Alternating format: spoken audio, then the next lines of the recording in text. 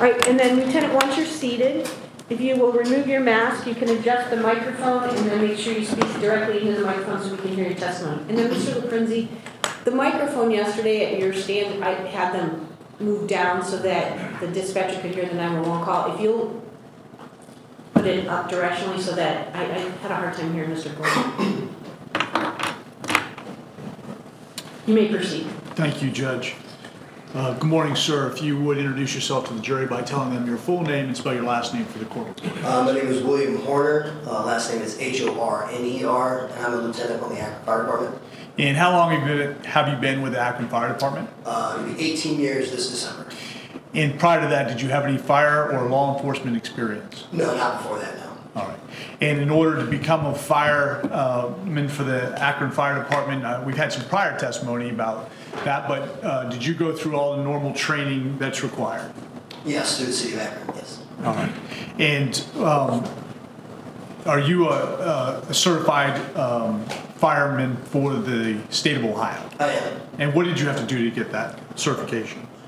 Um, upon getting hired by the city of Akron, they posted the academy, which is uh, state certified academy. At the end of the 12-week program, then you take the state test on a passing score, among um, other physical things that you have to do, skill-based tests. Uh, once you get through that, then you're certified as a state firefighter. All right. And once you became certified and hired with the Akron Fire Department, um, what were your um, job duties at that point in time? Uh, I was also a paramedic when I got hired. So when you work for the city of Akron, you are a paramedic and a firefighter. So your day-to-day calls, whether it's EMS, um, fire-related stuff, um, extinguishing fires, uh, rescue operations at a fire, ventilation, throwing ladders, pulling hose lines. I mean, pretty much all the stuff that you, the city firefighter did. Okay. And um, you said you're currently a lieutenant. How long have you been a lieutenant? Um, I was promoted to lieutenant in 2018. So at the time of this incident, I was not a lieutenant, but I've become a lieutenant since. And what would your rank have been at that point? Uh, firefighter. All right. So it doesn't go firefighter, sergeant, lieutenant, does it? No. There is, it just goes firefighter and lieutenant? Yes, correct. right. So you've been a lieutenant uh, recently, but at the time you were a firefighter. Correct. So let me direct uh, your, well, at that time, talking about uh, May 15th of 2017, um, were you assigned to any particular apparatus? Uh, in May of 17, I was assigned to Engine 4 on the A shift, uh, at Station 4. And what shift would that be? Uh, A shift. I mean, uh, t- um, strike that. Your shifts last how long? Uh, 24 hours. So we start at 7.30 in the morning to 7.30 in the morning the next day. All right. There was testimony previously that the fire at 693 had started during the middle of the night. Correct. Um, were you there for the initial uh, suppression of the fire? No. All right. So you would have come on at 7:30 that morning. Correct. At the point you got there to work, you were then dispatched to the scene. Yes, 693 Fultz. And at that point in time, approximately when would you have gotten there? Most of us get to work before 7:30, so it would have been pretty close to 7:30 to get uh, the C shift off on time, or as close to getting them off on time. All right. So you basically did a shift change right there at the scene. Correct. And at that scene, at the time you got there, somewhere around 7:30, um, what was the status of the fire at that house? Uh, for the most part, the the house had been extinguished, but it was still smoldering. There were still some hot spots for us to hit, so that was some of our initial instructions when we got there, um, because there were still spots that were burning, and um, the house was pretty heavily damaged. So there were some things that were going to have to happen because on top of us still having to put out any hot spots. Uh, places that were still burning, we were to look for and find the victims that were believed to be in uh, the house. Okay. Um, And Judge, trying to, and this is not. when I push- Well, For annotation purposes? yeah, I know, uh, I don't have control somehow, when I'm pushing the button, it's not giving me, to be able to switch to the um, laptop. Oh, how'd you do that? You press the screen. So they have a button, and No, then you don't push the button, you push the screen, okay? Okay. Oh, yeah. And I hit the annotate button, so you should be able to go in there.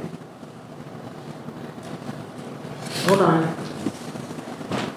Maybe he has to hit it from back there. See the annotate button on the left side of this? It's a button, not the touch screen, Mr. Tom. Underneath the main menu screen, on your black, this little black box right here. Oh, I'm sorry, I thought you were talking to On Mr. this D'Angelo. black box, behind your laptop, Yes. hit the annotate button. Okay. Mr. D'Angelo handled it. Yeah. I'm continually trying to make Mr. Gorman feel technologically uh, adequate. Thank you. Okay, sir. um, Showing you, and uh, Joe, what what number are we on here? 113? 113. I'm, I'm showing you what we have previously uh, marked as states 113, which is a PowerPoint which contains several slides and photographs, which I want to go through with you, okay? So this first um, slide, which is A, slide 1 of 50, um, it's- it shows a title screen. This is for the record more than for you. Um, It indicates 693 Fultz, Akron, Ohio, Summit County, Akron Fire Department, May 15, 2017. So you've already testified on May 17th, uh, May 15th, 2017, you were called to that fire around 7:30 in the morning. Is that true? Yes. All right, and that was 693 Fultz, and what city, county, and state was that in? Um, Akron, Ohio, Summit County. Okay. Showing you um, slide number two or letter B, do you recognize this? Yes. And what is that? Uh, that's basically Fultz Street, and then that is the address, or that is the structure that was on fire, it's right in the bend of the road there. All right. And essentially, the, the, the slide that I'm showing you is similar to um, the map that's displayed on the easel that you just pointed to with the, the uh, indicator, correct? Mm-hmm. Okay. All right, when you arrived on scene, uh, I'm now showing you slide C, excuse me, uh, yeah, slide C, which just says exterior, title screen saying exterior of 693 Fultz, correct? Yes. All right, so now I'm going to show you slide number four of 50, or letter D. Do you recognize this? Yes. And what is this? Uh, this would be the front of the house, or the A side of the structure, as we refer to it. Now, obviously, as you've gotten there, we can see it's, it's light in the background, correct? Yeah, this is a little before we got there, it's not quite seven thirty yet, but, um, yes, that is the front of the house. All right, and clearly we can see the ladders and things of that nature that are used by the, your department, correct? All right, and we actually see on the left lower corner, what is, is, is that water or is that a sunshine right here? Kind of tough. Can I move this screen a little Oh, yeah. bit towards me? Sorry. Yeah, yeah, it's on a, it's on a hinge. Okay. That looks like it's water right there because I don't think there's enough sunlight to hit that, but I believe there's probably water. Because again, there was a bunch of different areas that were still smoldering, as you can see. Some of that steam, but some of that is still smoke from areas that are still burning. All right. And then showing you um, slide 50, slide 5 of 50 and letter E. And this would have been even earlier than, than your arrival, is that fair? Yes, it's, it still looks to be pretty dark. All right. But even at this point, it seems or appears that the flames have been subsided and it's smoldering at this point. Yeah, for the most part. Again, there's going to be little pockets with the insulation and all the different stuff that's in your house that can burn. It's still smoking, but for the most part, the bulk of the fire would have been knocked down, correct? All right. And now I'm going to show you um, slide seven uh, of 50, which is letter G. Do you recognize that? Mm-hmm. So, And front of the house, sorry. All right. Front of the house? Front of the house, I'm sorry. All right. And just in, in case we've talked about uh, Alpha, you know, uh, is it Alpha? It's al- alpha, so the street side of the house that your address is on is the A side or alpha side, going clockwise. Um, this side would be B side, the back side would be C side, and then the right side of the house would be D or delta. All right. And I think the jury's already been explained that a little bit Okay. too. So, and just letting you know, you can use Okay, those terms. Okay. So, um, so this is the A side of the house. And would this uh, approximate what it looked like when you were there at that time? Actually, there's a lot of stuff that's been removed, a lot of debris, because if you go to one of the previous slides that you showed, there was still quite a bit of stuff Okay. on the porch. Um, and this looks to be later in the day. Um, I can't really tell by this picture if we've even started shoring up yet um, to get the victims out, but this is probably significantly after we got there, if that makes sense. This is later on in the after, oh, early afternoon, I guess, probably before we remove the victims. Okay. Um, But as far as the house portion goes, I know like on the ground and stuff, it looks like the, the the porch may have been cleared, but the house, this is basically the, Sure. the way it ended up after the, the fire was suppressed. Correct. Okay. When you get to the, fi- when you arrived at this fire, were you then informed through your company or whoever was there the prior shift that there were potential victims in this case? Yes. And how many, if you know, victims were you told that you needed to search for? Uh, initially, they told us eight because they weren't sure about the one daughter that had been away at work. So um, the neighbors had informed the fire companies, excuse me, on scene that there were potentially eight people in the house, and that other than seeing um, a, a body part hanging through the ceiling from the second floor to the first floor, they were not sure where else the other victims were. All right, so let's talk about that. When you got to this scene, this house was pretty um, badly damaged, so to speak. Correct. Um, Is there safety concerns for the firemen at that point? Absolutely. So when we initially got on scene, other than the report of trying to locate the potentially eight victims, um, we were not to enter on the first floor because it was heavily damaged. Um, we could not go into the second floor windows because it was so heavily damaged. The first, the um, ceiling or the floor of the second floor was hanging down a couple of feet. So when you peered in through the front door, you could actually see some of the floor joists or support members that were hanging down in front of the door. All right. So um, we could not enter until there was proper shoring or securing of that structure to prevent harming us. All right, and is that where, you when you said you could see part of the floor coming down, you said there was a, a body part that was recognized? Do you, and what was an arm or leg? Uh, it looked to be an arm, it ended up being an arm. So you said about the support and shoring up. Do you guys have a team that does that? Yes, we do. Uh, Station 7 um, houses our TROT team, our Tactical Rescue Operations Team. So, upon, I'm not sure what time in the morning that they told them, but they knew with us searching for victims and having to go in there that they were going to have to be called out to support that damaged part of the floor so we could go in there and adequately search and remove the victims. So, I, I don't know what time they started them, but I do know they were called for um, to shore up the floor. Okay.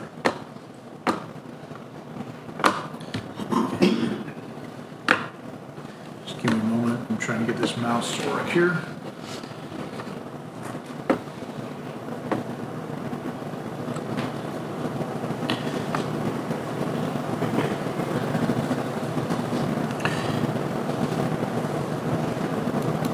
I'm going to show you uh, slide 38, letter double L.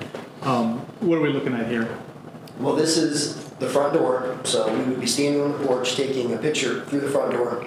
And what you see with those pieces of wood that's not burned, those were the shoring uh, devices that they put in to keep the floor from sagging any more than it already dropped down. You can see how significant of a drop it had been. Um, so they're not, when they go in to do this, they're not trying to raise it back up to where it was. They're just trying to keep it in place so we can do what we need to do to get the victims out.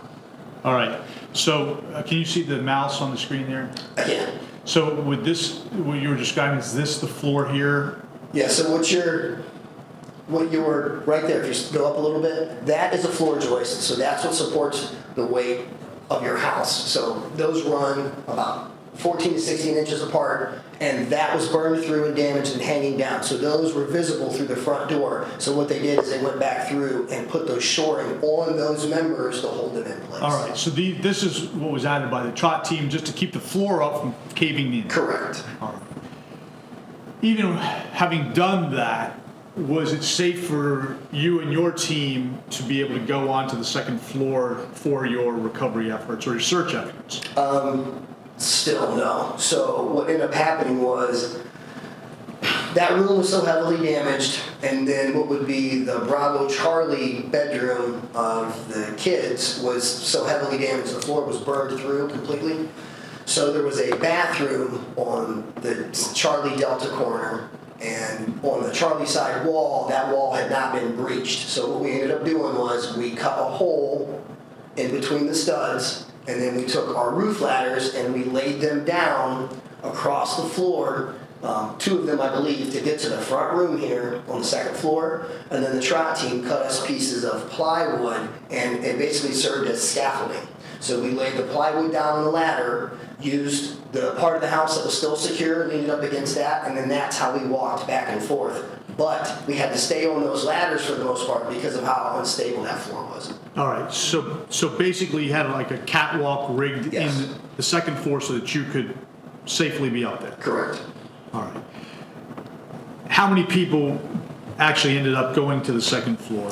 Um, it was myself, Lieutenant Barker, and Lieutenant Mills in the front room, and Lieutenant uh, Todd Webb was standing on the front porch taking pictures um, for evidence purposes, and then we had basically formed a line.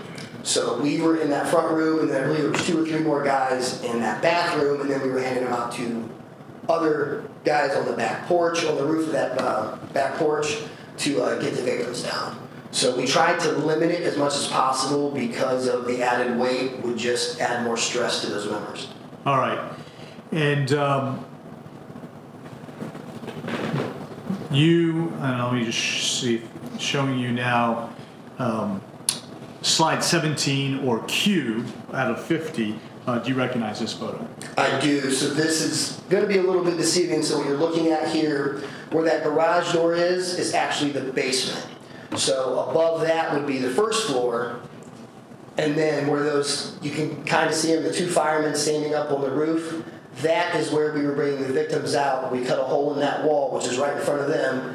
And then they would carry the victims down the ladder into the Down- back. And this is the ladder here? Correct. Okay. So this entire operation, not only did you have your victims, but your, was your safety an issue during this period of time? It was. We still had to be careful, even though we took every precaution necessary. There was such a large amount of damage. We still had to be very cognizant of where we were stepping, how we were moving them, and um, those kind of things. All right.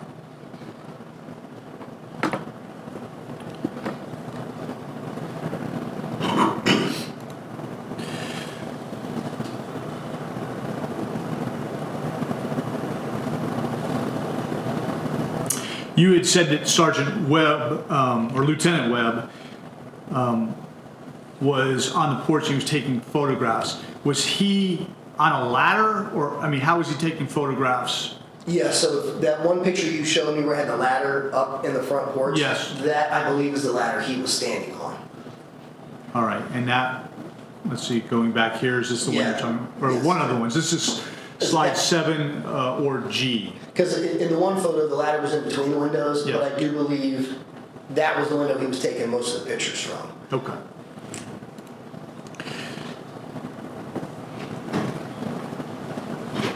So once you were upstairs, um, and I'm gonna show you.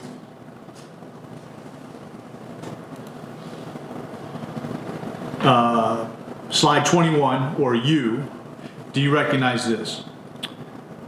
If not, it's okay. Actually, I'm trying to see where that is. That's okay, I'll, I'll, let me use. I do not. That's okay. So let me, um, so slide uh, 19 of 50 is a title slide. It's also letter S, interior of 693 Fultz, second floor, okay? So I'm going to show you now uh, slide 20. Do you see that? Yes. Can you do you recognize that? So this is where, it looks, this is where we cut into that bathroom, and then that's where our ladder was. And then below that window, you can see through the front of the house, because that's where there was that much damage and it started to drop down. Okay, and, and so where you're at now, um, what, is there a doorway here? That's a doorway right in front of you. So Okay, right here. Oops. I just didn't recognize it because I couldn't see the bottom. But this looks to be the bathroom doorway. And if I remember correctly, there are stairs to the left of this ladder on the other side of that doorway that go downstairs. All right, and, and just so we're clear, what side of the house is this window on? The window that we're looking at, The one in the The- middle of the picture? that's going to be the A side. That's the front of the house. All right. And so where would the bedroom be in relation to this photograph? So the bedroom is where that window is. Okay. So where the victims were found. All right. So this is the bedroom window in the front of the house. Correct. And this is the ladder that goes to the back of the house where everybody was being taken out. Correct. All right.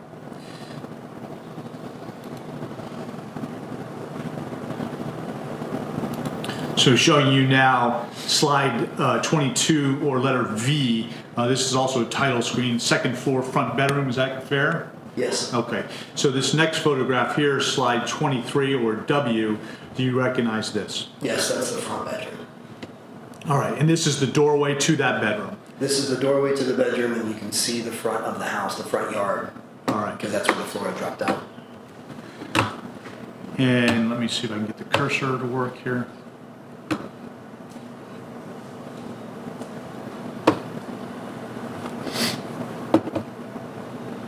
All right, so on here, this is that front window we were just looking at in the other slide, correct? Correct. And you can see through this opening here, correct? Correct. And where is the floor in this photograph? So Lieutenant, on the right-hand corner of your screen, touch it. Up top on the right-hand corner.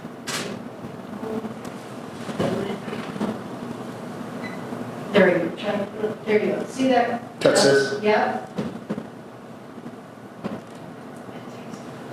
I think you have to get your tape. I think I, Hit me, but that's on the side. no, I'll do it again, sorry. Okay. Um,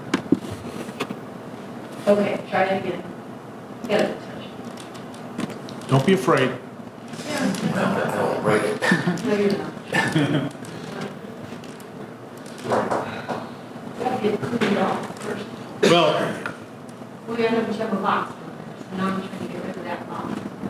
all right, maybe I can just use this pointer here, see the pointer? Yeah. All right, so tell me where would the floor, where is the floor supposed to be? The floor is supposed to be where that straight line is. Go down right there. See, that's where the floor is supposed to be attached. Right here. Correct. And so the, so the reason we see this is this floor is dropped. Correct. All right.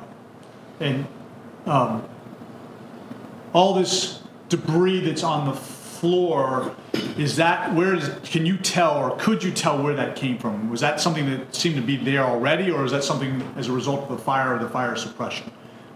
Well, the ceiling is still intact.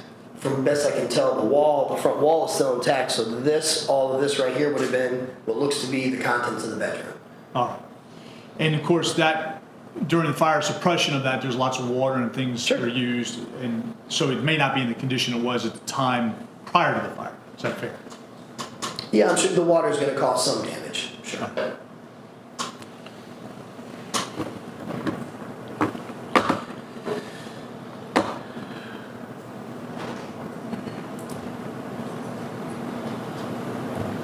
All right, showing you slide 24 or letter X, what are we looking at here? So this looks to be when you're standing in the doorway of that bedroom that we were just looking through. So that would be to the right, so that would be the AB corner of the house. And then you can see a bed frame and you can see how much the floor has sagged down right here underneath that window. So that's how much it's dropped down. You can actually see a victim. Okay. So, By the so this window here is the one we had been looking at? No, that's the one next to it. All right, so there's a window over here. Correct. And this is where you're talking about the floor? Yeah, the floor should be right there where that open space is. That's where the floor is supposed to attach. Okay. And obviously you can see the street and the fire tr- engine here. Correct. Now, in this photograph, as you can see, it's a lot of stuff going on in this room, correct? Mm-hmm. Correct. And at this point in time, this is the first time we can actually see a victim in this, in this photograph, fair? Correct. All right, and that would be in this area down here? Yes. All right. Showing you now slide, oops, I'm sorry. 25 of 50. Now what are we looking at here? Again, standing in that doorway, um, facing more the middle of the room, you can see that victim uh, right here in the middle of the screen. But then you can start to see a couple other victims um, up kind of underneath that first window we were looking up towards the corner here. Nope, right there. Go down. Right in there, there's a victim right there. And then there's appears to be, we weren't sure at the time, uh, it ended up being there's a small child underneath that victim right in the middle. Yes, correct. That's the face. And in this here, is this, what is this? Is this part of the floor? Well, there was a there was a dresser there, and there was some clothes and stuff. So there was some other things that were up against that wall, um, and I can't remember if it was like right on top of because that ended up being mom right there. Um, I can't remember if it was right on top of her, but there were some other items in the room too that we had to kind of work around to get the victims out. All right, and this is mom here, That's dad. Mom is the one right there. right here. Okay. So we're talking, Angela, well, you didn't know the names, did you? No. Sarah? Okay. Nope. All right. So showing you slide 26 of 50, do you recognize this? Yes, that is. Um, you can't really see all of the victim, but that appears to be the a leg of the victim right there, which ended up being mom right there. All right. And slide 27, Just a different. Basically, that's from the front of the house. okay. Um, So now we're looking back through the window. not the win- not the window. You're probably sit- they're probably standing on the front porch, but the floor's dropped down so much they just took the picture right there. I see. And so this is mom and this is I think that's father. the that, yeah. The father said. All right. Slide 28, this is similar but an overview. Yes, so that I'm guessing this is where um, Lieutenant Todd Webb, Todd Webb, I'm sorry, was taking a picture through that first window on the right, um, and kind of coming the opposite direction instead of looking from the doorway from the window, so you can see mom on the right hand side, you can see dad, but again, there's a lot of debris, so we really weren't sure, other than seeing those three victims, where, where everybody else was laying.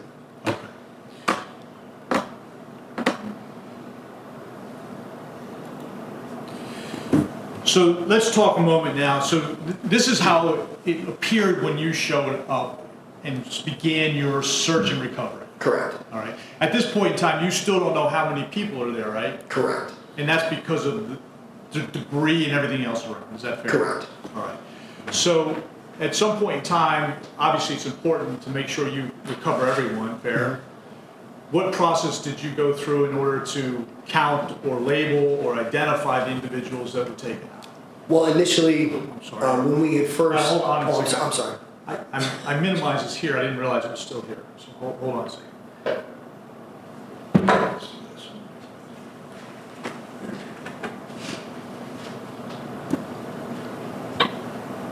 Okay, all right, so tell us about the process that you used to, um, to re- recover, remove, and identify the individuals that were in that house.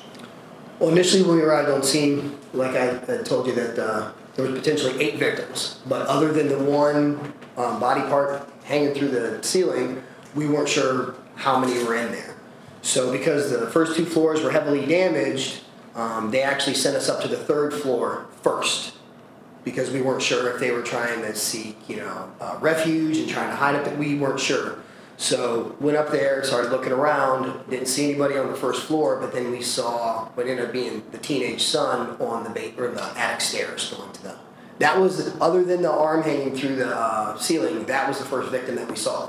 So we cleared the third floor because it was safe to do so. So we were up there moving around. There wasn't much fire damage. So we looked up there and concluded there was no other victims up there. And what was that third floor? Was it? It was a bedroom. It, wa- it, it appeared to be the teen's bedroom. The oh, All teen right. son's bedroom. Was it an attic that was used as a bedroom type of It situation? was a it was a finished attic. So a lot of those older homes, the attics are finished, and then either they use them for storage. A lot of times they're utilized for bedrooms.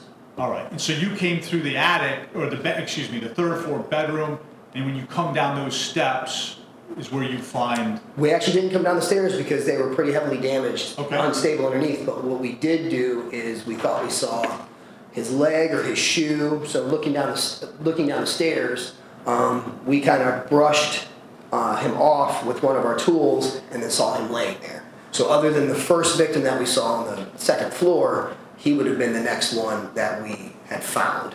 And then after that, after we cleared the third floor is when we kind of switched our efforts to trying to find everybody that we could on the second floor. All right.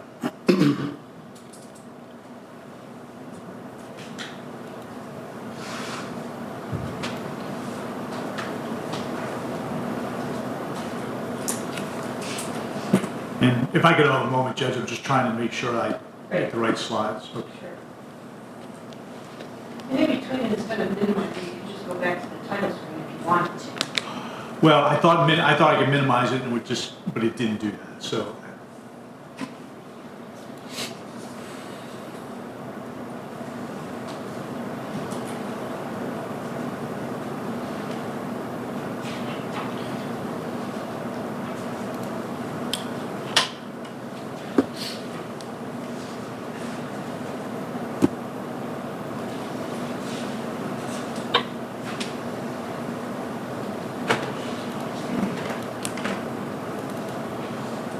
Okay, Joe, why isn't this not switching for me?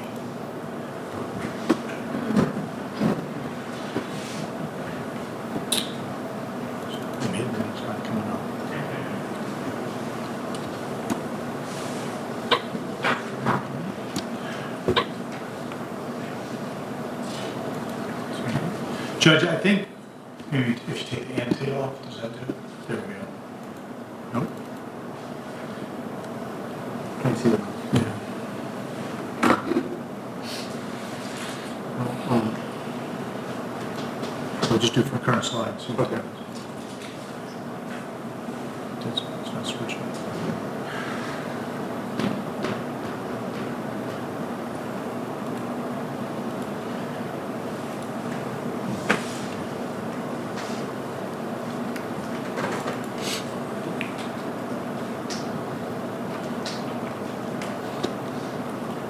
Okay, so it's-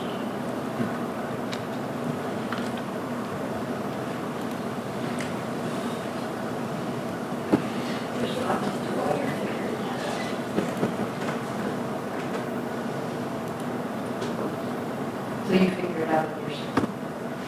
Oh, you blind it out. Yeah, I was the monitors for. Well, the problem, Judge, is I- on the screen here, it's working, and it it was not projecting there, it was on here. Yeah.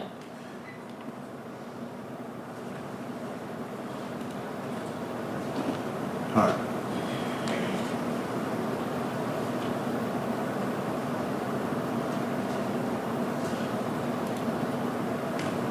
Okay, I think we're back on track. I think maybe with the annotation thing, it changes things a little bit, so. Don't uh, minimize it, I'll just, and- and disable the courtroom monitors when it needs to. Okay, thank you, Judge, I appreciate that. Um, Lieutenant, if you could tell us if you recognize this photograph, which is slide 36 or uh, letter double J. Okay, this would be the third floor bedroom. And the viewpoint you're looking at from right now, I believe, is where we came in that window to search around in there. You came in, oh, The, the window behind you? behind us, yeah. Okay. And then from that room, from that bedroom,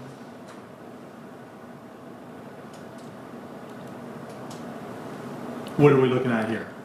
These are the stairs, if you can, you can kind of see, um, right below, I'm not sure if those are my feet or not, but right below, uh, whoever's feet those are, how, the stairs are damaged right there. And at the bottom of the stairs is where the victim is laying. All right, and so I'm going to show you slide, and by the way, that was slide 34, double H, and now I'm going to show you slide 35, double I. And so is this where you're looking at the bottom, closer up at the bottom of the steps? Correct, correct. And, and right in this area, oh. And right in this area here, is this the young man? Yes. Okay.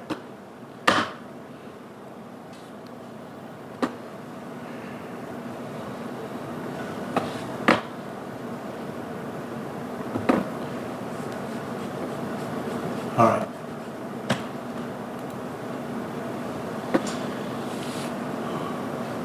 Now, um, I'm going to show you slide number 31 of 50 double E. This photograph here is it's the same stairwell, Correct. but from the downstairs level. But from the second floor bedroom where the other victims were. All right. And so, I know it's hard to see here, but was this a, the green here, is that his shirt? Yes. And would these be his legs bent? Yes. Okay.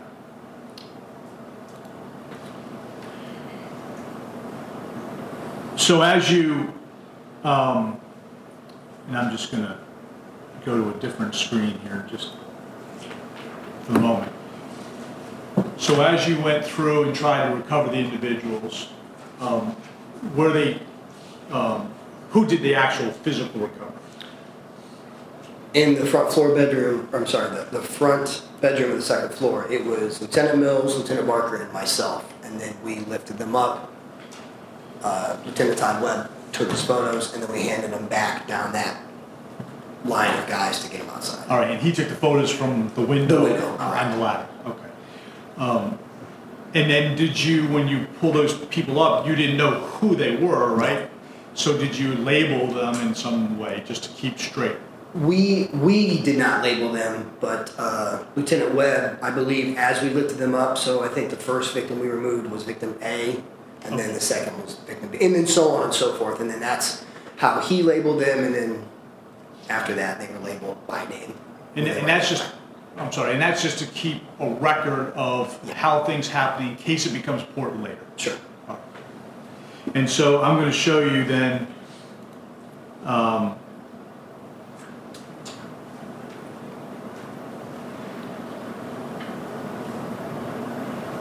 first of all, going back to slide 28, double B, this is the photograph that we see of, the- of, I believe you said this was the mother and the father. And then I'm going to go to slide uh, 29 or double C. As you can see, it looks like similar, very similar picture, um, but it's labeled. Is that fair? Yes. And this, uh, there's a person here up on top of the screen. Oh, I'm sorry. The person on top of the screen, uh, who do you believe that to be? It's either myself or Lieutenant Mills, but we talked about. I think that I think that's me because there were three of us in there. All right. Now, I, I noticed when you came in today, your one arm has uh, lots of tattoos Yeah. on it, but in the picture, there's no tattoos on this arm. I didn't have any of the tattoos at the time. Okay, so, so that doesn't mean it's not you, it just, Right. okay. All right. So as we did this, and we'll kind of go through this quickly, here you have labeled uh, victim A, um, and was that the, do you believe the first person to be brought out? It's it's difficult to see here, um, but what we ended up doing was you can't really tell from this angle, but she had an infant that she appeared to be, or a very small child that she appeared to be holding, and then when she fell, the baby was next to her. So that was actually, I believe, the first victim we took out, and then so on and so forth. All right, It's just difficult to see in this picture. yes, okay.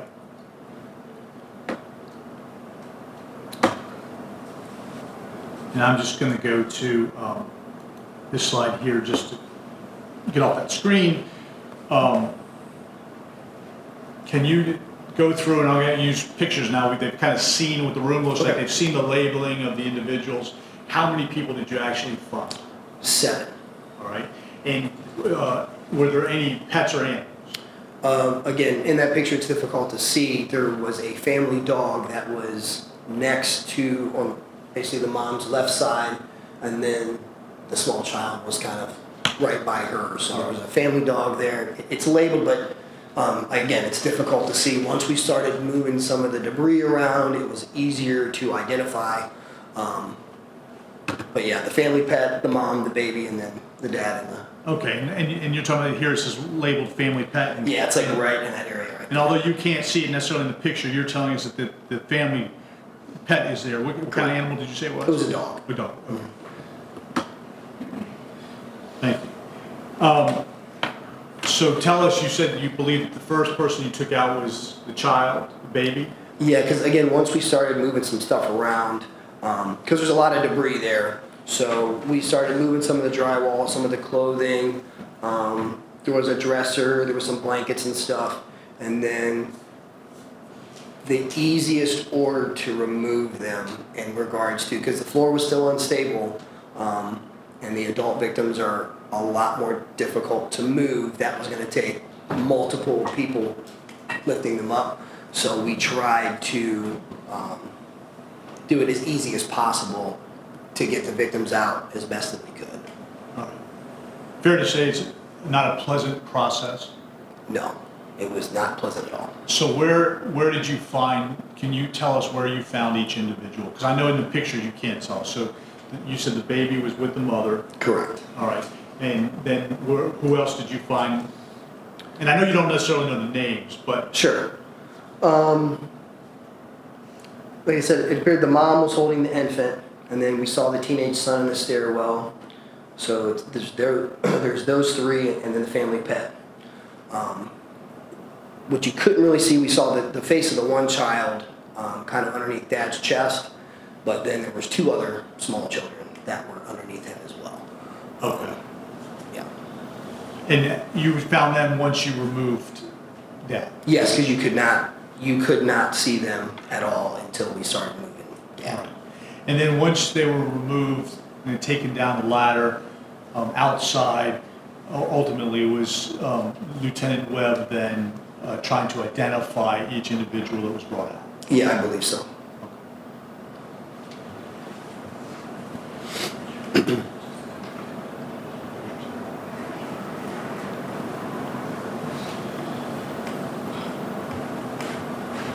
Lieutenant Warner, um, this new, several pictures that I've showed you today, um, do they accurately represent the scene as you saw it that day on May 15, 2017?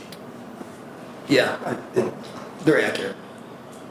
Thank you. I have no further questions. Mr. Gorman? Thank you. Lieutenant, we don't have any questions for you, thank you. All right, Lieutenant, thank you for your testimony, you're excused. You may call your next witness. We would call Lieutenant Webb.